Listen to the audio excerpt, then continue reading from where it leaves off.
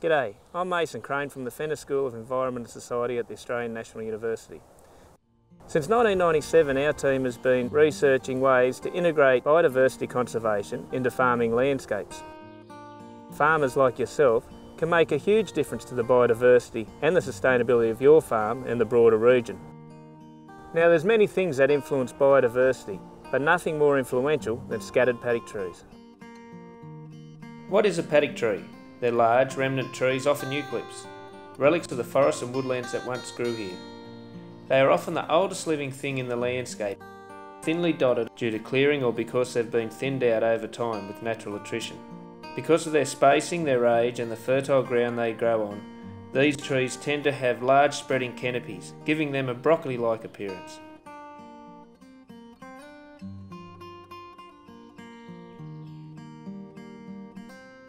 You can't argue that these trees are magnificent.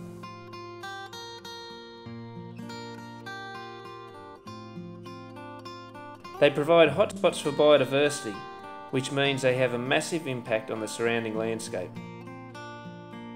Their immense canopy provide a large crop of leaves, flowers and buds.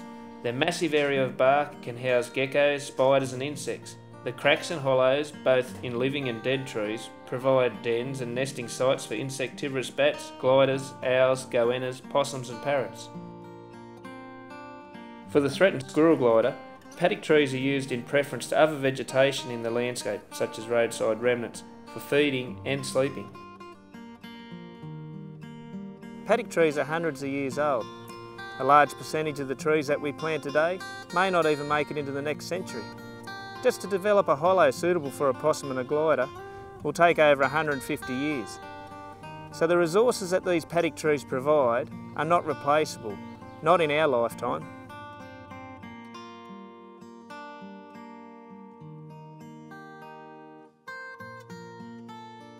Unfortunately we're losing paddock trees at a rapid rate. As predicted within 90 to 180 years that we will have lost all the paddock trees in the southwest slopes if current trends continue.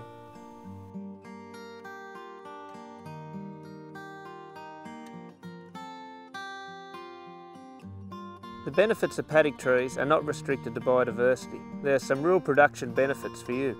The most obvious production benefit of paddock trees is for livestock.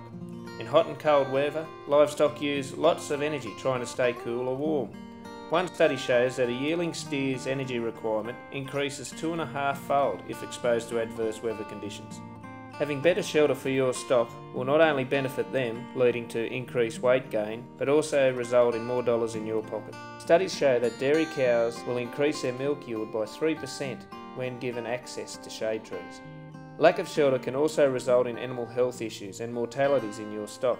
A classic example is in cold snaps, when sheep are just off the shears. It has been found that scattered paddock trees increase water infiltration, increase desired elements in the soil well beyond the canopy of the trees, and add to nutrient cycling.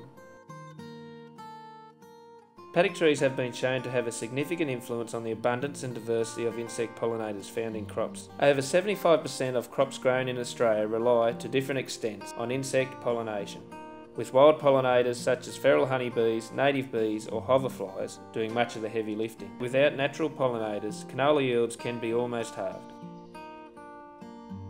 Birds and bats are nature's best pest controls. Just two or three paddock trees per hectare can result in a significant increase in these species.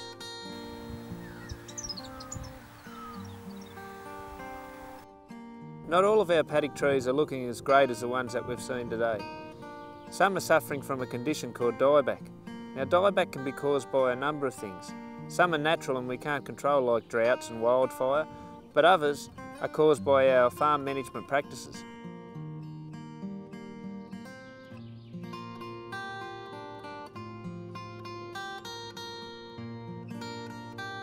Increasing nutrification for fertiliser or stock camps encourages trees to grow artificially and changes growth patterns. This can make these trees vulnerable to insect attack.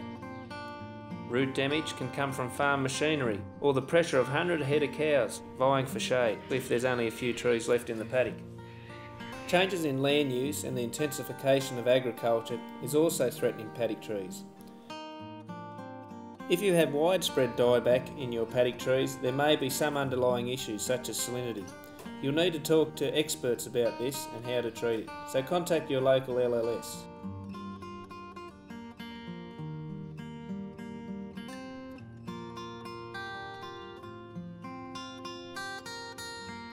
Even if your paddock trees are looking as crook as this one, don't despair. Paddock trees have a remarkable ability to recover, and if you take the threats away, they can return to their former glory.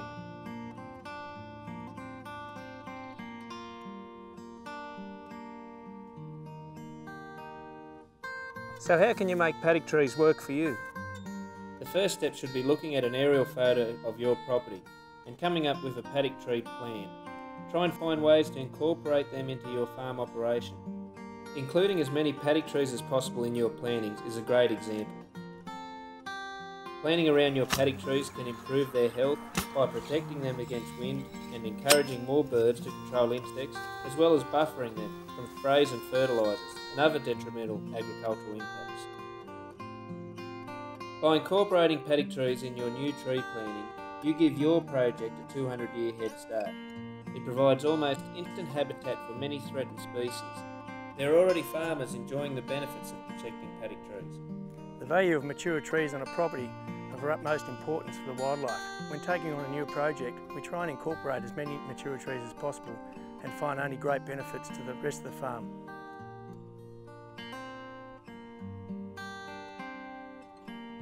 Including paddock trees in laneways may buffer the trees against the impact of general paddock management, particularly cropping paddocks, and provide alternate ways to get around your property. Maybe create a special purpose paddock such as a lambing paddock or off shears paddock. If the paddock is only used for this purpose, the spells between grazing may reduce stress on the trees, allowing for regeneration, at the same time providing a fresh paddock for vulnerable stock with good cover. In many areas, paddock trees aren't naturally regenerating, so farmers are trying to address that by recruiting more trees into the landscape. They can do that many ways, by planting single paddock trees like this, or larger scale tree plantings like this one.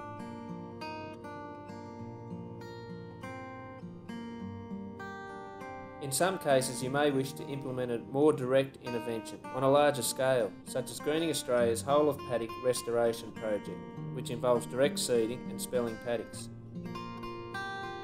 It is important to remember that only a small percentage of the trees you plant today will survive into the next century, so plant more than you think you'll need to give biodiversity a chance. If you're thinking about clearing paddock trees, consider the impact this will have on the biodiversity and the sustainability of your property. Remember there's no action that can truly offset the impact of clearing. If it is really unavoidable, you may be able to prevent or slow further loss by adopting measures to protect the remaining trees. Incorporating as many paddock trees as possible into your tree planting may be one way to achieve a positive outcome. Even when a paddock tree has been collapsed or has been knocked over, it can still provide important habitat. Whether it is lying where it has fallen or dragged to a more convenient location, this habitat, which has taken centuries to develop, will keep providing homes for wildlife, such as goannas, bearded dragons and tree creepers. When it comes to paddock tree conservation, no one has all the answers. It's likely that every different situation will require a different solution, and most of the solutions will come from innovative farmers like yourself. If you want further information on how to develop a paddock tree plan, contact your local LLS. So by respecting these ancient trees and taking time to incorporate them into your farm plan, we will continue to reap the benefits these trees provide now and into the future.